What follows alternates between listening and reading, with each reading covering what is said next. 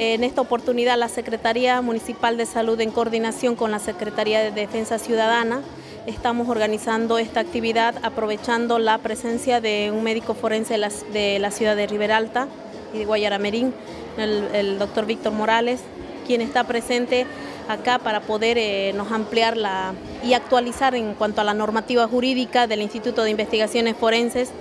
y eh, la atención a las víctimas de violencia sexual, en la cual mi persona también estamos eh, cooperando en la exposición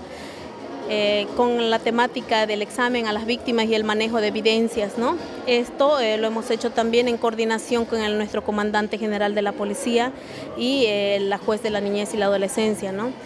El fin de este seminario de actualización es brindar a los profesionales, a personal de salud, personal policial, personal de la Defensoría de la Niñez, el SLIM, eh, que forman parte de nuestro municipio y demás personal de instituciones públicas y privadas que trabajan en la temática relacionada con violencia, poder ofrecer y actualizar los conocimientos que tenemos y especialmente la normativa relacionada con la ley 348 y también con lo que respecta a la normativa que está presente en el Instituto de Investigaciones Forenses y que a veces no se, la, no se le da eh, mucha información aquí, a, veces no llega, no se actualiza los conocimientos en lo que es la normativa que tiene el instituto, el IDIF en este caso, ¿no? Desde mi punto de vista, pues es muy importante eh, que las instituciones justamente encargadas de proteger a la mujer en aquello que se refiere violencia contra, contra las mujeres, pues eh, es importante toda vez de que estos talleres eh, permite a muchas mujeres conocer cuáles son los alcances de la ley. En muchos casos conocer cuál es, cuál es la forma, cómo se tiene que denunciar, cuáles son los pasos que se tienen que seguir.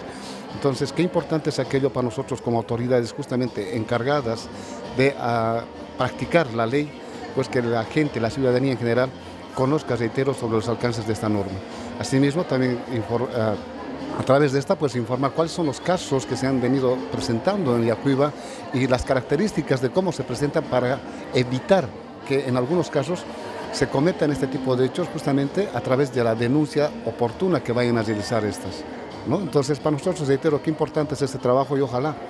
el 2016 pues eh, este tipo de este tipo de conferencias talleres se realicen eh, con mayor frecuencia no solamente en algunas áreas tiene que tenemos, tendríamos que ocupar colegios universidades juntas vecinales eh, y otros sectores donde seguro estoy mucha gente desconoce sobre los alcances de esta ley